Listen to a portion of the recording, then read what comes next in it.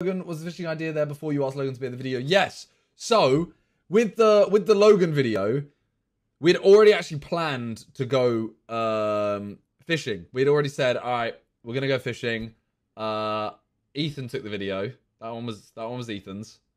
Um, because Ethan's been fishing a few times, I think. Uh, and he was like, "Oh yeah, you know, let's go fishing." Like we all organized this thing. We were like, "Yeah, yeah, cool." Ethan sorted the, you know, the two uh, boats, etc. Without Logan, yeah, there was like Logan wasn't mentioned.